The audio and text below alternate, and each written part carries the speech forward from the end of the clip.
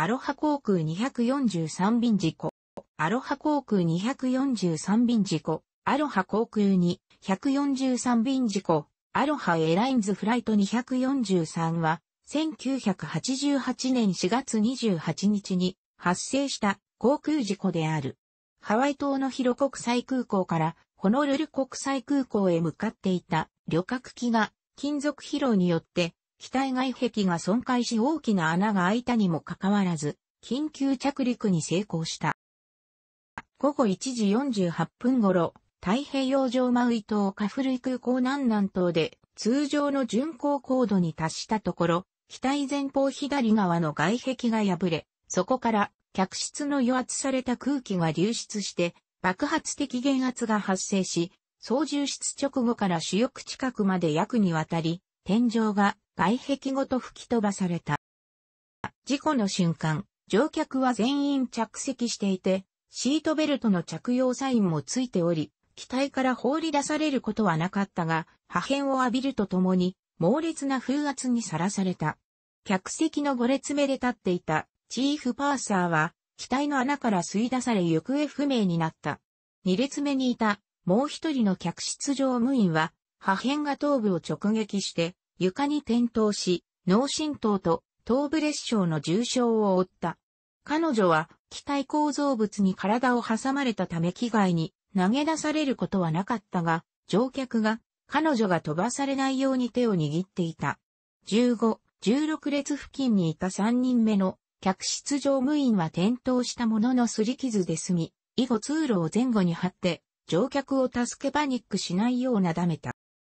副操縦士は突然頭を後ろに引っ張られ、操縦室に灰色の断熱材の破片などを含むゴミが吹き込んで来たのを見た。機長が振り返ると操縦室の扉がなくなっていて、ファーストクラスの天井が、あ、はずのところに青い空が見えた。クルーは酸素マスクを装着し、機長は直ちに操縦を代わって、緊急降下を始め、副操縦士はトランスポンダーを用いて、緊急事態を示すコード7700を発信しつつ、最寄りの空港へ引き返す旨を無線連絡したが、機内の轟音のため機長とさえ手で合図し合うありさまで、通信音声を聞き取れず、連絡できているのかさえわからなかった。管制側は、この最初の無線は受信しなかったが、トランスポンダの緊急コードに気づき、以後対応を始めた。やがて降下したところで、マウイ島管制との間で通信に成功し、緊急事態を宣言した。左エンジン支柱のすぐ内側の主翼前縁付近で燃料制御ケーブルが破損したため、左エンジンは始動や水力増加ができなくなった。このケーブルはまた客室で最も損傷が激しい部分の床下を通っていた。このように機体は甚大な損傷を受けていたが、油圧系統は無傷で済み、操縦系統は機能していた。パイロットは傷ついた機体に可能な限り負荷をかけないように操縦した。途中車輪を下ろそうとした際、機種の車輪が降りてロックされたことを示す緑ランプがつかず、機長は機種車輪が故障したものと判断したが、実際には正常にロックできており大事に至らなかった。これは、後の調査でランプの玉切れだったことが判明した。最寄りのマウイ島のカフルイ空港に通常よりも速い侵入速度になったが、緊急着陸に成功した。この事故で機体の破片や猛烈な風圧を受けて65名が負傷したが、うち8名は重傷、墜落しても不思議ではない機体損傷から生還したことは奇跡だとされた。行方不明になった客室乗務員については、飛行していた海上付近を捜索したが発見できず、死亡扱いとされた。日本の航空事故を扱った書籍の中には、これを誤って犠牲者なしとしているものがある。事故機は修理不能とされ、現地マウイ島で解体して再利用部品やスクラップとして売却処分された。機体の部品のうち、シートベルトの留め金が現地の博物館で事故機の写真とともに展示されている。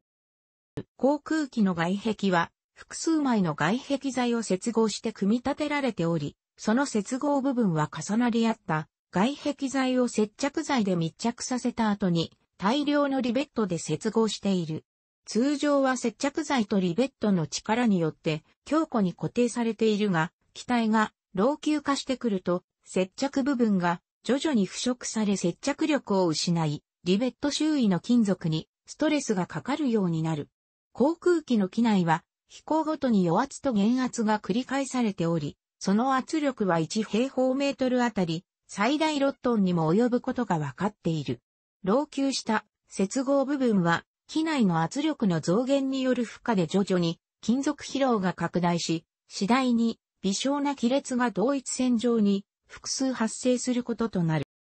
事故は亀裂の発生を見逃し続けたことにより、亀裂が徐々に拡大し、ある時複数の亀裂がファスナーを開けるように急激かつ同時につながることで風船が割れるように機体が破壊されたものとされた。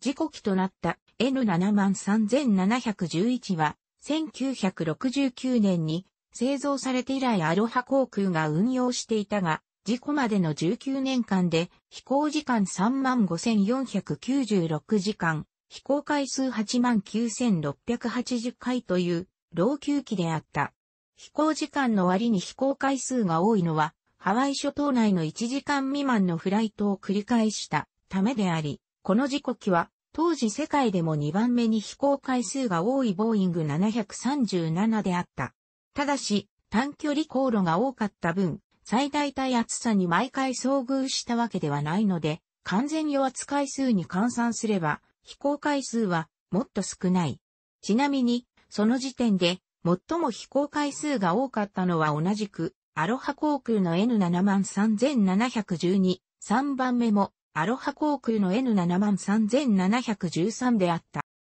この数字は、飛行時間こそ、メーカー保証の5万1000時間には達していなかったものの、飛行回数については、同7万5000回を大幅に超過していた。また海上を飛行することが多かったことから、潮風と湿気の影響で機体の腐食、劣化が進んでいたと見られている。これは、整備に使用していたエポキシ系接着剤の使用が不適切であり、接着不良の箇所から劣化原因物質が入り込んだためである。この劣化をアロハ航空の整備体制は見逃していた。ある乗客は243便に搭乗する際、全部左舷のドアの上の機体表面にひびがあるのについていたが、乗員や係員には告げていなかった。1989年6月にアメリカ国間輸安全委員会がまとめた調査報告書によると、事故の根本原因は、機体の腐食や亀裂を発見できなかったアロハ航空の整備体制の弱さにあったと指摘している。ただし、委員のうち1名は異議を唱え、複数箇所の亀裂が引き起こす破壊の深刻な意味を航空会社、メーカー、監督官庁のいずれも明確に認識していなかったことが根元原因だと述べた。過去に亀裂や腐食を原因とする事故は複数発生していたものの、機体の老朽化そのものについては言及されることはなかった。その意味では、この事故はキトシが原因と結論付けられた最初の事故でり、古い機体を抱える世界中の航空会社に大きな波紋を及ぼした。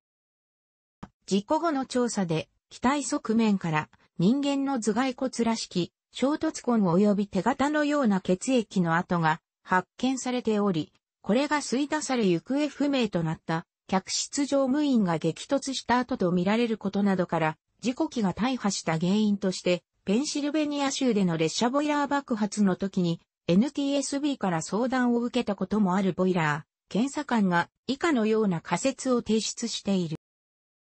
高度を飛行中に機体20平方インチの穴が開き、そこからで噴出した気流に客室乗務員が巻き込まれて瞬間的に穴を塞いだ。結果、流体ハンマー現象が生じた。機体劣化により約8.5ポンド平方インチを下回る耐久力となっていた同機はこの衝撃に耐えきれず、大破した。これは、ボイラー検査官の専門分野であるボイラーの爆発事故ではよく見られる現象である。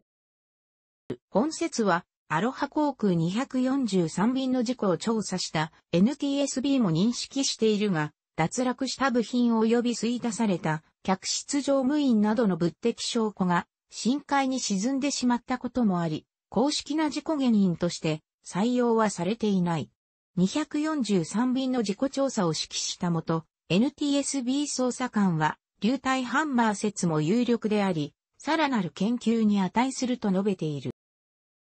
本説が問題となるのは、通常の安全指針が、経年機体の劣化をある意味で許容しているからである。たとえ航空で穴が開いて減圧が起きても、周りの構造は持ちこたえて安全に圧力を逃がす、というのが通常の考え方である。その点で243便の事故に関する公式見解は複数箇所で発生していた亀裂を見逃したのが原因だとしているので、逆に言えば複数箇所ではない一つ目の亀裂発生容認している。ところが、流体ハンマー説を取ると、たとえ局所的な破損であっても大規模な破壊につながりかねず、ましてやそれが243便で実際に起きたとなれば、従来の安全基準を大きく見直さざるを得なくなるに、加え、そもそも飛行機に高度で実際に穴が開くまでは大丈夫などという設計思想を持つこと自体が馬鹿げているとの意見もある。